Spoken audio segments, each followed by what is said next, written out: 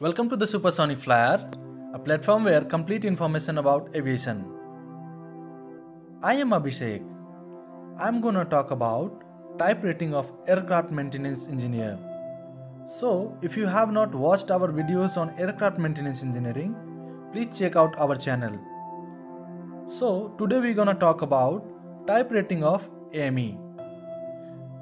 So, what is type rating? First of all, we will know about what is type rating. It is the basically certification of expertise in aircraft type or model. Means license endorsement on particular aircraft like Boeing, Airbus, Q400 aircraft, etc.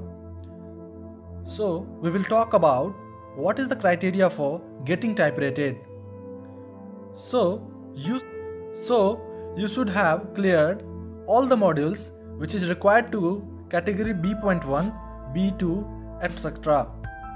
You should have basic license BAMEL which is basic aircraft maintenance engineering license.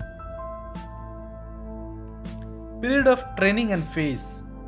Training period requires 45 days to 90 days in most of the cases.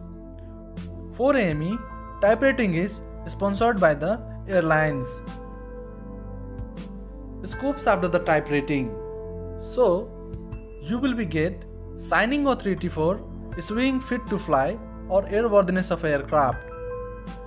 AME with type rating will usually end up with being hired almost immediately with an airline or maintenance repair organization which is MRO. Thanks for watching the videos. Please like, subscribe and hit the bell icon for the future update. Follow us on the Instagram, link given in the description. Thanks for the watching.